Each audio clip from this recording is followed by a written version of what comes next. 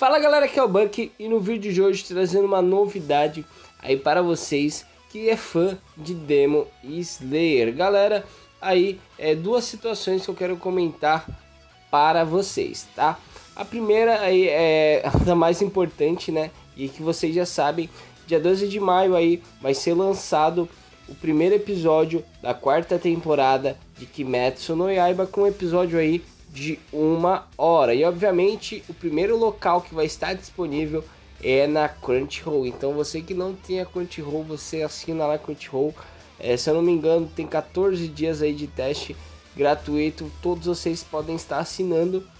Não só tem Demon Slayer, mas vários outros animes. E uma coisa também, galera, muito, muito, muito importante, foi revelado aí que no dia 4 e 5 de maio será exibido aí os dois últimos episódios aí da Vila dos Ferreiros, dando tipo um hype aí do que a gente pode esperar dessa quarta temporada do treinamento dos Hashira. Então dia 4 e 5 de maio será transmitido a terceira temporada aí, os últimos episódios do arco da Vila dos Ferreiros, dando um ápice aí para a quarta temporada.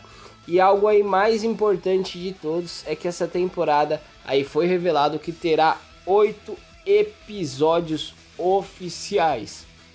Eu já comentei com vocês aí mais ou menos de quantos episódios seria, é, digamos que é, dois capítulos de mangá por episódio. Então um capítulo e meio de mangá por episódio. Demon Slayer trabalha nessa média. Aí no mínimo um capítulo e meio por episódio ou no máximo aí dois capítulos é, de mangá por episódio. Então no caso se fosse contar é, do arco do treinamento dos Hashiras em mangá, teremos oficialmente três episódios. Então, onde eles tiraram esses outros cinco episódios? É, como eu comentei também para vocês, nesse filme que teve aí do treinamento dos Hashiras, que teve aí os últimos episódios do acontecimento do arco da Vila dos Ferreiros e depois um pouquinho do começo aí do início do treinamento dos Hashiras, teve situações que não teve aí no mangá, que foi aí uma missão de Omanaiguro e também a missão aí de Sanemichi Nazugawa. Isso ele não é canônico, mas é canônico ao mesmo tempo. É, se vocês podem lembrar aí, é o primeiro episódio aí do primeiro Split Cool da segunda temporada, que é o arco aí do Trem Infinito, teve aí o, o Rengoku.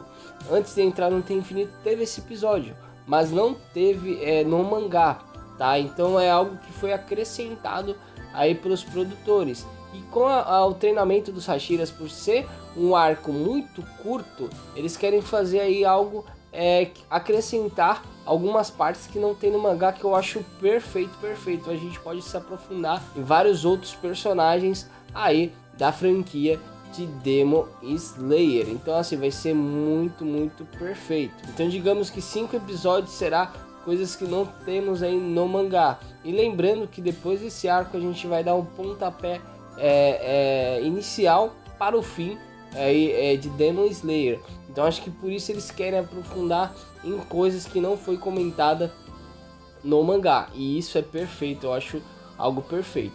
Mas isso é uma hipótese minha, tá galera? Pode ser que cinco episódios aí é, é seja realmente uma criação deles voltada ao arco do treinamento dos Hashiras, ou a segunda hipótese aí que eu acho que também pode estar tá acontecendo, eles podem colocar algumas partes aí do início do Castelo do Infinito, que é um outro arco depois do treinamento dos Hashiras. Eles podem estar fazendo isso aí com a gente e deixando a, a gente tendo o primeiro Split Cure aí da quarta temporada, sendo no segundo Split Cure a continuação aí do arco é, do Castelo do infinito. Mas eu acho mais provável acontecer essa primeira coisa que eu falei para vocês. Esses cinco episódios serem coisas que não tem no mangá, mas eles quiserem introduzir para ficar algo bem mais tremendo. Um exemplo e claro um spoiler. Nesse treinamento Sashira a gente vai ter uma luta de Gyuto Mioka versus Sanemichi Nazugawa, mas seria interessante outros Sashiras lutarem também. Possa ser que eles façam isso é, é, nesse novo arco para ficar mais interessante, porque falando para vocês, eu achei que esse treinamento dos Hashiras no mangá ele foi muito rápido, ele foi muito intenso. Então, é, eles poderiam ter se aprofundado mais. Então, eu acho que é isso que eles querem fazer. Assim como foi é, com o Kyojuro. Ele já foi lá, teve início no trem, é, Tanjiro indo atrás dele, ele já dentro do trem, o trem rodando, enfim. Então os produtores pensaram, pô, vamos fazer um Rengoku antes do treino, como que é que ele vai entrar no treino? Pô, vamos colocar uma missão para ele, vamos fazer isso, fazer aquilo. Então foi algo perfeito que se encaixou direitinho com o arco. Então vai ser a mesma coisa com o treinamento dos Hashiras. Eu acredito nessas duas hipóteses, mas a primeira hipótese eu, eu acredito que seja muito mais forte aí que a segunda. Beleza, galera? Eu sou o Buck e eu vou ficando por aqui. Até o próximo vídeo. Espero que vocês tenham gostado e tchau, tchau.